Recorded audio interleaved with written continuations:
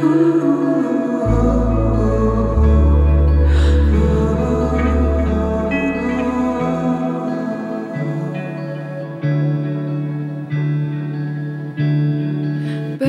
on tour, driving to a through Southwestern town.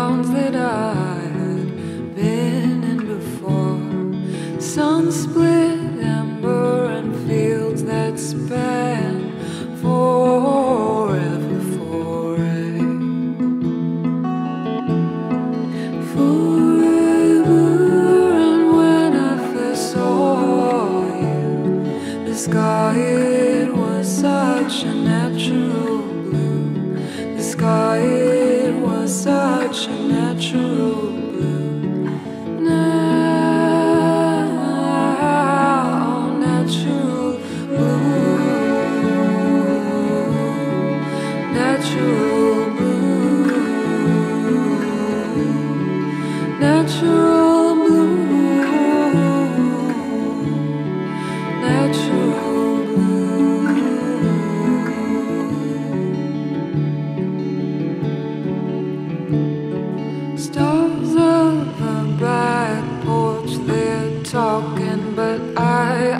I,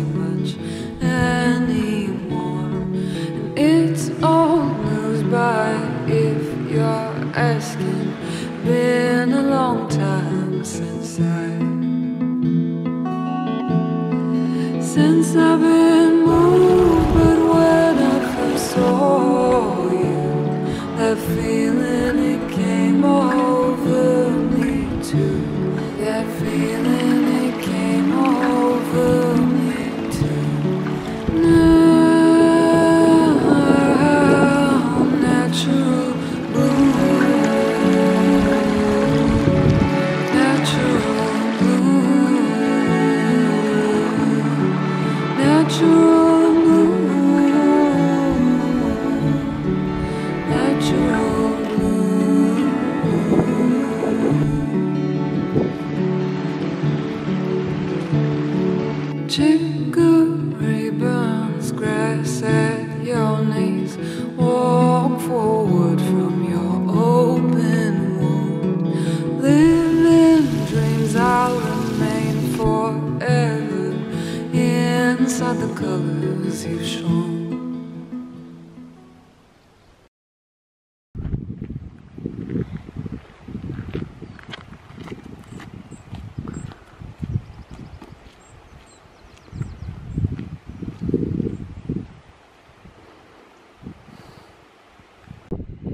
morning. Um, so I am on the Isle of Arran this weekend.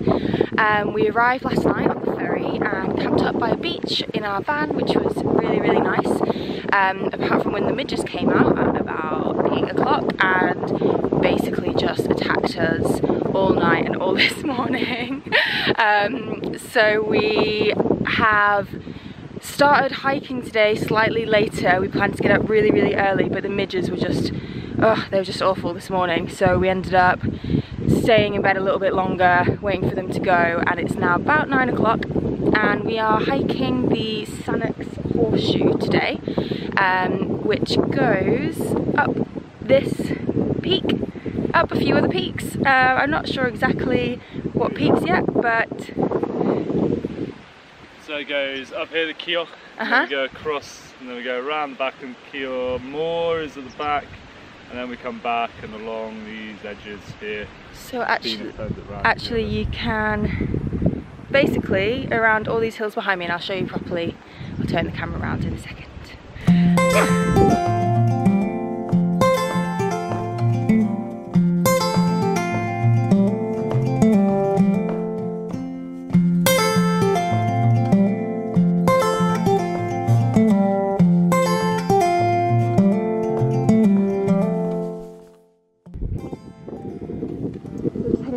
up this hill now.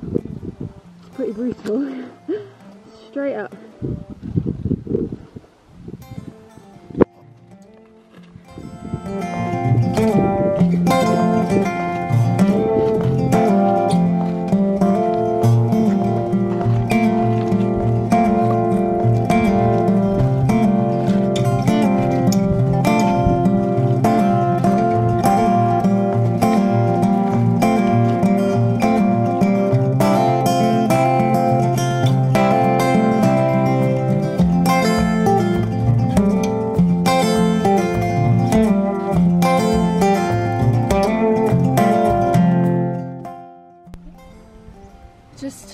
Been scrambling up our first little summit. Um, got a little bit lost, kind of started going round the side before realising we really needed to go straight up.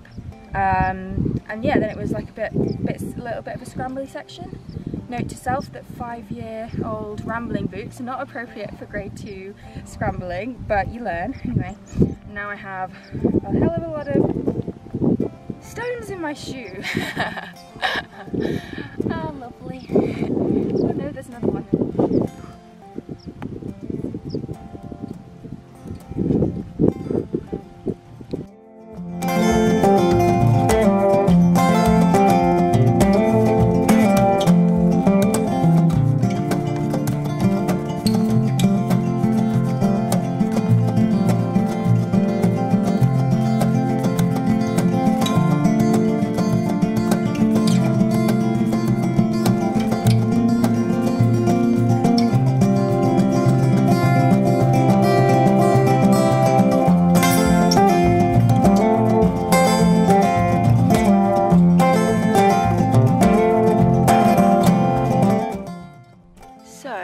We started our route here in Sannox and we have come along this path and we are now sitting up at this summit which I cannot pronounce Cioch na h-Oighe.